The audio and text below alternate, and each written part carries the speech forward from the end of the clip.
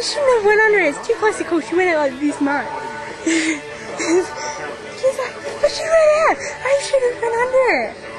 And I was like, you should have went around it. Go Carl! Go Carl! Yeah, I was like, you deserve it. Joe, I'm getting your hand. okay, it's gone. Like a videotape.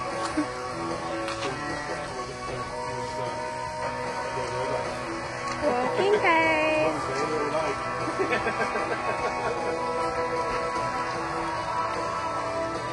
Excuse me, officials, are you watching?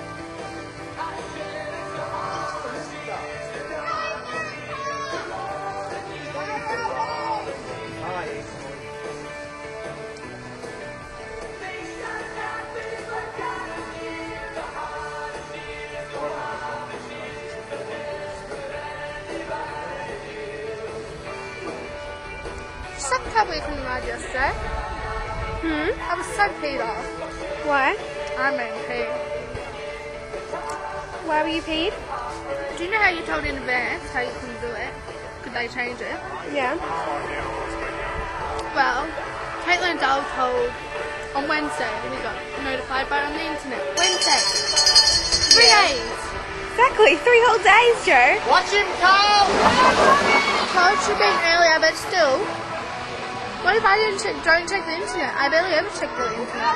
Then you show up, you don't race. Oh, I said then you show up, you don't race. Or you can go home.